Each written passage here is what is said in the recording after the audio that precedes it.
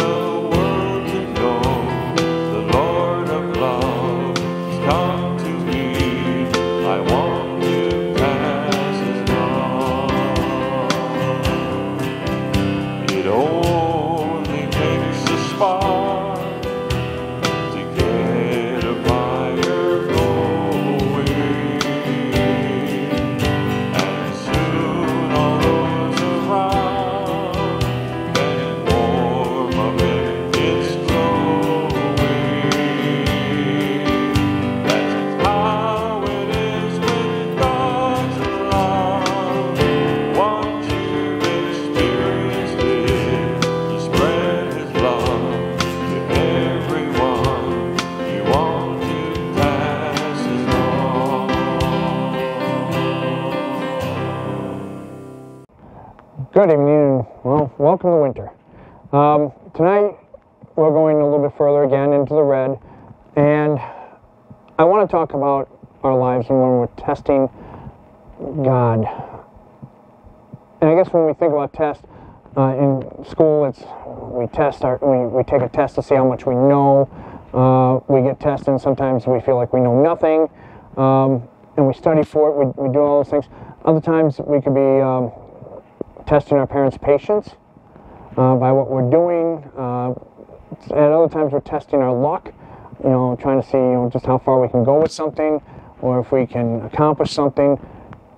When we go to test God, there come some questions that we have with that one because it's told a number of times. I mean, in Luke 4, uh, verse 12, Jesus tells Satan, in fact, it is said, Do not put your Lord, your God, to the test.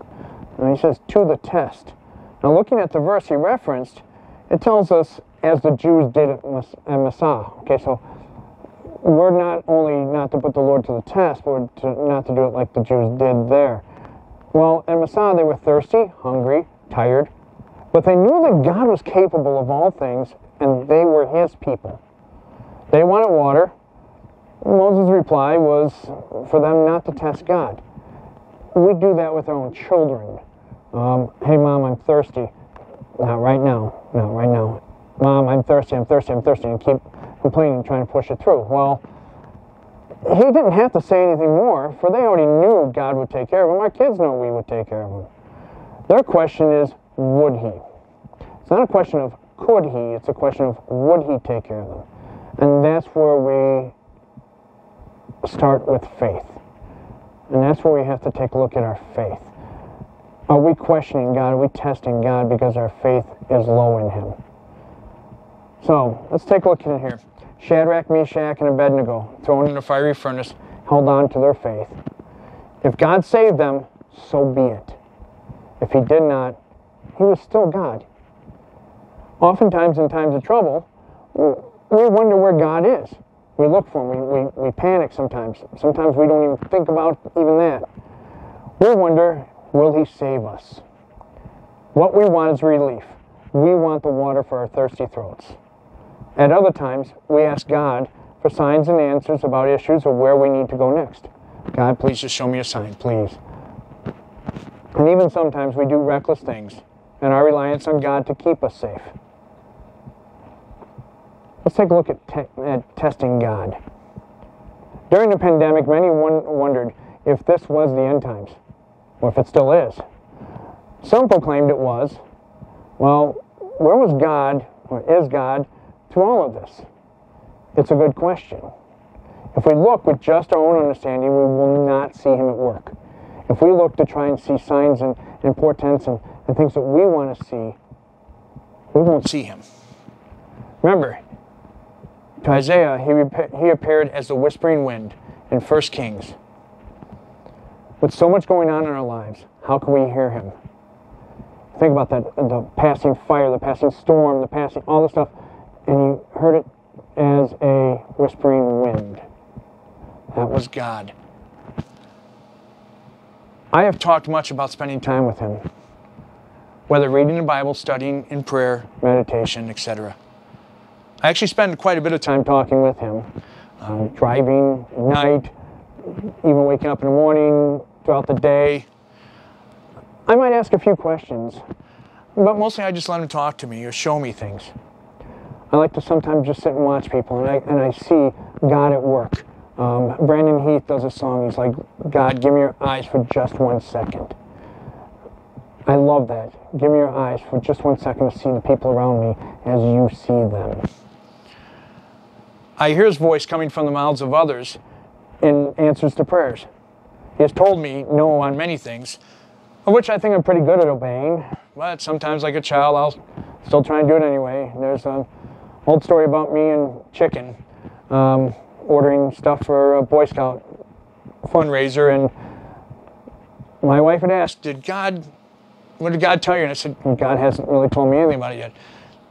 So I went ahead and did it anyway, and everything flopped under a failure. She's like, "Next time, when God doesn't tell you anything, don't do it." So I've learned since then. Um, I have found myself studying the word more, especially in the original languages, which I really do suggest. If you can, even bits and pieces. There are, there, uh, you've got Google, you've got uh, books out there, there's all kinds of things like that to go take a look at some of the translations and see because if you realize Jesus didn't, you know, the New Testament wasn't written in, uh, in English. It was translated from Greek, which was translated from the Aramaic. And we lose stuff in the translations, and we'll be hitting that too. Mostly, though, I, I spend quiet time with him. I want to hear the quiet whisper. I want to see him in action in the world around me. I can only do that by being still. Being in Michigan, think of it as being a deer hunter. He doesn't stalk his prey. He goes where there may be signs of deer and sets up and waits there, patiently, quietly. Though it may take days, he keeps going to the same place. Then one day he is rewarded. The more he does this, the better he becomes at reading the signs, looking for the deer signs in the, in the forest. He goes to the places where he thinks that God might be. Maybe it's a prayer room. Maybe it's you set up a room and you invite God in. Maybe it's at work. Maybe that's where your ministry's at. You invite God. You've invited God to, to help you out, and watch for Him to work and to work through you. But the hunter doesn't ask for signs. He merely looks for them. And it doesn't mean to look for signs that, oh, this is my answer, this is my answer, this is my answer. No. Look for where God is working. Once he sees them, he does not say, Here's my answer. Here's my deer. No. Again, he sets up near there and waits. He makes sure he's equipped and ready. Remember the parable of the lamps? I've often heard it said that pray like it's up to God and work like it's up to you. Well, I used to believe that. Now I know it's a cop out. It really is. It's saying I'm going to be doing all this work, and if God wants to help, He can. Well, now I prepare myself most of the time to be ready for God to use me. Reading, learning, studying, preparing myself, equipping myself with the Word. Well, just as a hunter cares for his equipment, well, I'm not perfect either. I'm 60 pounds overweight, procrastinate far too much, and make excuses for myself. But God has called me. I know that. He's provided me the right equipment when I choose to use it.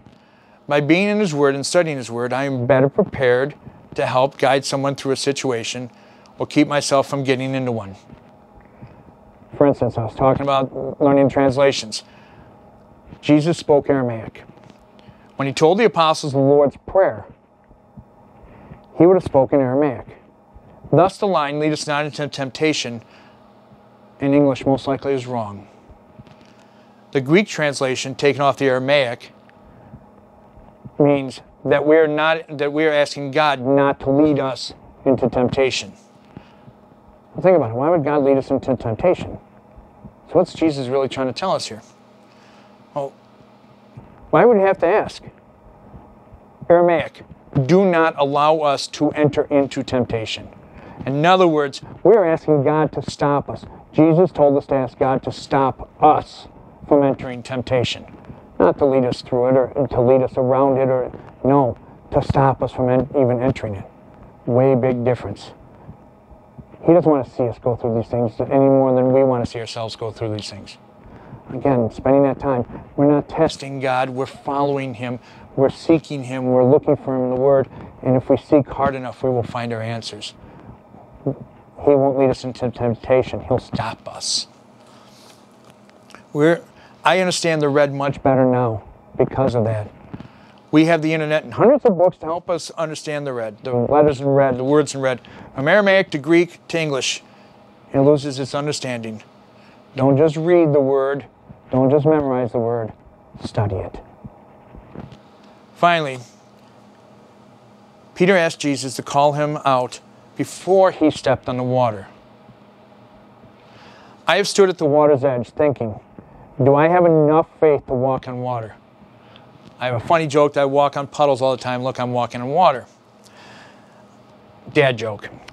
I know I will sink if I try. Why? I don't have enough faith to walk on water? Is that what it is? Because my faith is so little? No, it's because Jesus isn't calling me to do that. And I'm not going to test him by trying to walk on water thinking that Jesus, you said Peter could walk on water if he had the faith. You know, I'm, I'm, You know, I can walk in this water. I'm not going to test Jesus. I'm not going to test God. Jesus called Peter, and Peter walked on water. What a faith in Jesus. What a faith. Think about that. Jesus called me, take a step out and walks. he didn't test Jesus. He asked, call me. Now, when Peter took his eyes off Jesus, though, he lost his faith and started wavering and he started sinking. Well, it's just like my wife once said. Lori told me that once, she, uh, she told me once, told me to acknowledge the devil, but keep my eyes on Jesus. Because too often times, I would look and see where the devil's at, trying to find out where the devil's at, knowing that I've got Jesus here. You know, Jesus is with me, so I'm going to look and see where the devil's trying to find me or trying to lead me. Wrong. Try and drive a car that way. I still swerve towards bill, uh, bulletin boards when I'm or billboards when I'm driving. If I'm looking up at it, I think that's worse than texting. so you keep your eyes on the road, because where you look is where you will stray. So it kept me straying. And I keep my eyes on Jesus, and I'm going forward. And it's a lot easier. My life's a lot easier. I'm not testing Jesus. I'm asking God to keep me away from temptation. I'm preparing Myself in His Word. It's a lot easier for me to handle a lot of things and to help people now. By keeping my eyes and ears focused on Jesus, I will know when He calls me to walk on water. or make that leap of faith. Too much of my life has been spent telling God where I am helping Him, rather than asking, Where do you want me? Where am I needed? This devotion was originally written This whole thing was written using the story of Gideon. But God changed my focus. He kept me up and kept bothering me. and I finally understood why. It's because I started to listen to him. He had a message he wanted to say. He wanted me to tell about testing him and what it means. But he didn't want me to write these words and to, to write, a, write something because I do want to go and hit Gideon one of these days because I love the book of Judges and I love Gideon. We will hit that one day. But in this case, he wanted to speak, and I let him. It's kind of nice. in this case, it was kind of like a parent letting a child make a mistake, only to come back and ask, The child come back, How do I do this, Dad? know, how do I do this? I know I am that child. I try to spend time being quiet, listening for God, studying His Word, so that I better understand Him and build a better relationship with Him. Because then I find myself testing him a lot less. Testing his word, testing what he's trying to say to me, testing, hey, give me a sign, Lord. Or doing something, going out and doing something like buying 300 chickens for uh, a sale and Failing miserably. so I am better able to help out in his kingdom. I make mistakes, but he is teaching me. We all make the mistakes. And he will teach us if we listen and if we pay attention. I do not have to test him to know that he is here. I don't have to test anything. I know he is here. I ask him to test me instead. And that's what we should do is ask him to test me instead. David said it. Lord, test me. So that I know where my heart And my faith are. I'd rather be tested by God Than tested by life and temptation and anything else. else out there. Because God would be like the parent training his child up to go and to be what, what he's meant to be. Well, it's become easier to tell his answers with to my prayers. and tell him from my answers what I want to hear. I still keep praying sometimes, just trying to be that nagging child who really wants to go to Disneyland and hoping I can wear dad down or convince him that I'm right. I don't test him because he is God. I don't test him because he loves me. I am his and I trust him. So I won't test him. My faith is in him. My hope is in him. I have no need to test him. I just need to be with him. Let us pray. Lord God, the world dynamic has changed so much. We pray that your word reaches the hearts of people to bring a peace to them, whether they are knowing trouble, uh, times of trouble, times of death, times of sorrow, or times of great joy and happiness. Let us praise you in the storm, Lord, and let us praise you in the sun. Lord, open up your word to our hearts. Open up your word to our eyes and to our ears. So we know that that word is living and around us. It is in, written in the, the lives of your people. Let us see that, Lord. Let us help to share that and show that and be that. Help us to be the word, Lord, so that others might read us and know you better. Amen. Thank you, Joe, and thank you everyone for tuning into our midweek service. If you've been blessed by today's message and you're watching on YouTube, please give us a thumbs up and click the subscribe button to be notified of our future videos. If you would like to support this ministry with your offerings or donations, please send them to Mosaic Church of the Nazarene, 8499 North Dort Highway, Mount Morris, Michigan 48458. Or now you can also show your support through donating at our Patreon page, which is located at patreon.com slash mosaicnaz. Please join us at our next service. We welcome you and your entire family, and you'll find us right across from Skateland here on Dort Highway each Sunday morning at 1030. We pray the Lord would bless you so that you then will become a blessing to others.